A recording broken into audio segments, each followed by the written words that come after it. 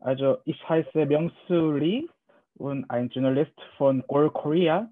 Und bitte äh, stellen Sie vor. Ja, mein Name ist äh, Dennis Melzer. Ich arbeite seit ähm, über sechs Jahren jetzt mittlerweile bei Goal in Deutschland. Und seit drei Jahren bin ich äh, Reporter für FC Bayern und die deutsche Nationalmannschaft. Ähm, ich äh, begleite den FC Bayern vor allem bei äh, Auswärtsspielen und bei Heimspielen, war beim Champions League Finalturnier in Lissabon im vergangenen Sommer ähm, und bin bei allen wichtigen Champions League Spielen auch auswärts äh, vor Ort. Und in der äh, WM 2018 habe ich die deutsche Nationalmannschaft äh, begleitet, auch in Russland. Das sind meine Aufgaben. Ich ja. mache alles, was mit Bayern zu tun hat, vor allem Bayern. Und das ist meine Aufgabe Go, ja. Und also in 2018 und warst du äh, das Spiel gegen Südkorea auch, oder? Ja, ja, ich war, ich war in Kasan. Mhm. Ähm, das war äh, sehr überraschend. Ähm, Südkorea hat, hat super gespielt gegen Deutschland. Mhm. Äh, aber alle Journalisten waren sehr überrascht, äh, dass Deutschland äh, so schlecht gespielt hat, keine Chance hatte. Mhm. Und zwei Tage später äh, bin ich wieder nach Hause geflogen. Ich hatte, ja. ich hatte meinen Koffer gepackt für vier Wochen, weil ich dachte, Deutschland kommt weit. Mhm. Aber ähm, dann war nach, dem, nach der Niederlage gegen Mexiko mhm. und der Niederlage gegen Südkorea war für Deutschland als Weltmeister schon Schluss. Ja, ja damals, ich war in Köln und mhm. äh, ja, ich war auch sehr, sehr überrascht. Und damals, ich bin nicht äh, Goal Korea Journalist, andere Firma. Ähm, also ich habe geschrieben viele Artikel, äh, die Stimmung in Deutschland. Ich habe Frage über die Hungmin Son. Mhm. Dann, äh, es gibt ein Rumor, dass Son zum FC Bayern wechseln wird.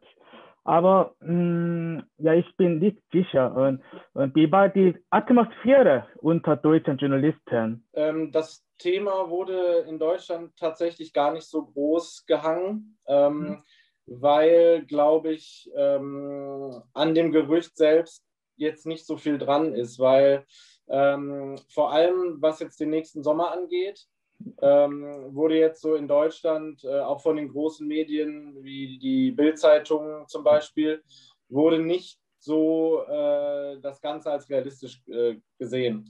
Ähm, aus dem einfachen Grund, dass Bayern mit ähm, Kingsley Coman, ähm, Serge Gnabry, Leroy Sané auf den Außen sehr, sehr gut besetzt ist ja. und das auch im nächsten Sommer sein wird. Äh, Bayern hat im vergangenen Sommer sehr viel Geld für Leroy Sané in die Hand genommen ähm, und Thomas Müller äh, spielt auf der 10, wird auch noch zwei, drei Jahre da spielen und dementsprechend dadurch, dass äh, Heumin Son auch sehr teuer natürlich wäre, sein Vertrag läuft noch bis 2023, ähm, wird ein Transfer im kommenden Sommer äh, quasi ausgeschlossen.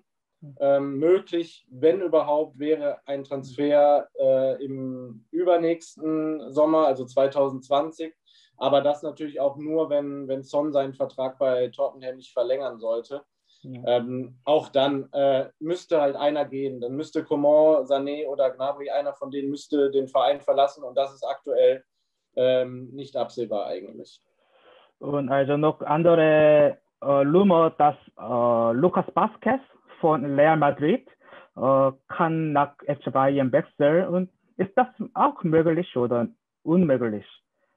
Also Lukas Vazquez würde ich äh, zumindest etwas realistischer betrachten als, als Son, weil Vazquez ist äh, sehr flexibel.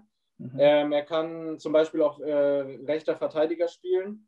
Ja. Und ähm, da liegt bei Bayern im Moment so ein bisschen die Baustelle, weil äh, Benjamin Pavard ist gesetzt auf der rechten Seite.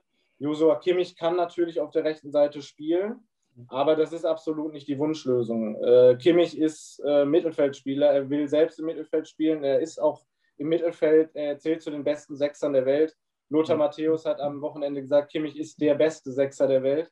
Mhm. Ähm, da wäre Vasquez vielleicht eine Alternative, weil die Alternative im Moment, die klassische zu äh, Benjamin Pavard, ist Bunassar und der ist, mhm. äh, hat leider, muss man sagen, nicht das Niveau, ähm, das der FC Bayern benötigt, um ganz vorne in der Champions League mitzuspielen. Sollte sich Pavard verletzen.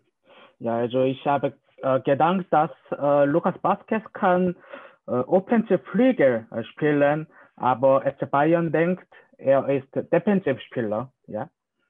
Ja, also mhm. äh, natürlich dadurch, dass Vasquez so äh, flexibel ist. Ja. Ähm, Bayern hat im Moment äh, Douglas Costa noch von, von Juventus ausgeliehen. Der wird definitiv aber im, im Sommer wieder gehen. Ja. Das war eine Laie von Juventus. Äh, das heißt, sollte sich äh, Coman oder Gnabry oder beide verletzen, dann wäre natürlich äh, Vasquez eine, eine, Alternative, die jetzt auch ganz nicht so teuer wäre wie, wie Son beispielsweise. Und er hätte den großen Vorteil, dass er eben auch äh, defensiv spielen kann. Ja, okay. Und noch andere Frage, dass äh, wie bewertest du die Leistung von Son und kann er, also es ist sehr schwer äh, zu spielen für FC Bayern München, aber ja, wie denkst du denn? Also ich glaube, dass äh, Son ähm, sich in den vergangenen Jahren extrem gut entwickelt hat. Ähm, ich kenne ihn, kenn ihn noch vor allem aus der Zeit in Leverkusen. Ja. Ähm, natürlich auch am Anfang beim HSV, wo er, wo er als junger Spieler kam und auch schon gute Leistungen gezeigt hat. Aber ich glaube, er hat bei, bei Leverkusen nochmal noch mal einen Schritt nach vorne gemacht, weshalb Tottenham ihn ja auch dann geholt hat und zum damaligen Rekordabgang von Leverkusen gemacht hat für über 30 Millionen. Und äh, ich sehe ihn als als einen der besten Spieler äh, überhaupt auf, auf den Flügelpositionen äh, oder auf seiner Position. Ähm, dementsprechend bin ich der Meinung, dass Son jedem Verein auf der Welt weiterhelfen kann. Ähm, natürlich dann auch dementsprechend Bayern.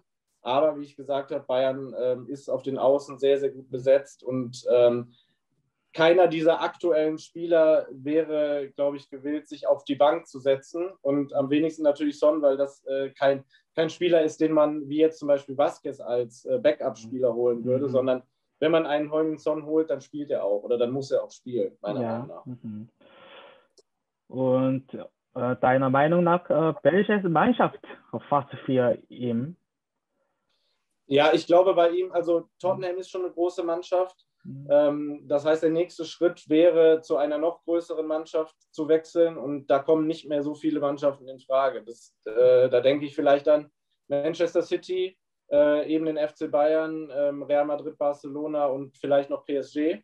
Ja. Ähm, da sind natürlich auch alle Mannschaften im Prinzip gut besetzt auf den äh, jeweiligen Positionen. Also wenn ich an PSG denke, mit, mit Mbappé, mit Neymar. Mhm, ja. ähm, aber ich glaube, sollte ein, ein Verein das Geld für, für ihn haben, mhm. äh, würde er von diesen großen fünf, die ich gerade genannt habe, glaube ich, jedem Team auch weiterhelfen können.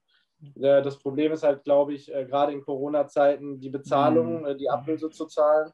Ähm, und da, das ist, glaube ich, so das Hauptproblem. Aber im Prinzip, also wenn jetzt Corona nicht wäre, wenn wir uns das mal wegdenken würden, dann würde Son meiner Meinung nach jeder Mannschaft auf der Welt weiterhelfen ja, äh, vielleicht vor zwei, drei, äh, vor zwei oder drei Jahren, ich habe gehört, äh, ein Rumor, dass Adidas oder Bundesliga Asian Büro kann äh, helfen, äh, so, Heung-Min Son nach FC Bayern München wechseln. Aber ähm, wie denkst du denn, die FC Bayern hat interessant an die Asian Marketing? Ja, also ich ähm, weiß ja von, von Bayern, sie machen ja ähm, diese Reisen ähm, nach, nach China. Ja. Und ähm, der FC Bayern ist, ist ein Club, der, der immer äh, auf, auf das Ausland schaut und vor allem auch auf das entfernte Ausland. Also gerade der asiatische und der US-amerikanische Markt sind, sind für Bayern sehr, sehr wichtig. Wir haben äh, ein Büro auch in, in den USA, New York. Ja. Ähm, sie machen eben diese Reisen natürlich auch, um bekannter zu werden, noch bekannter mhm. zu werden, äh, mhm. gerade auch im asiatischen Raum. Deshalb, ich glaube, dass Son, und ich denke da äh, gerade an Leverkusen, als Son noch nicht so berühmt war, äh, da hat Leverkusen danach LG als äh, Sponsor ja. an Land gezogen. Ähm, großes Interesse in, in Korea geweckt. Ähm, das ist, ich glaube, wenn, wenn Spieler wie Son, der ist ja mit Abstand der beste Spieler aus Südkorea, genau wie es damals äh, Javier Hernandez war, äh, Chicharito, Mexiko. Ähm, diese Spieler ziehen natürlich sehr viele Fans zu einem Verein. Leverkusen ja. ist nicht so bekannt wie, wie Bayern, aber dadurch, dass Son zu Leverkusen gegangen ist, hat er in Südkorea eine große Masse an Leuten, dazu bewogen, dass sie Leverkusen die Daumen drücken zum Beispiel. Ja. Und ich glaube, dass es mhm. generell für Bayern natürlich interessant ist, auf dem asiatischen Markt Fuß zu fassen. Das haben sie auch schon getan. Und als Marketingbotschafter sind Spieler wie Son äh, natürlich äh, dann Gold wert. Mhm. Ähm, aber ich glaube, dass Bayern jetzt anders als Leverkusen ähm, da schon so ein bisschen den Fuß in der Tür hat, auch schon bekannt ist. Aber klar, also Leute wie Son in Südkorea nochmal das Interesse für den FC Bayern hochzuhalten, ist natürlich immer interessant.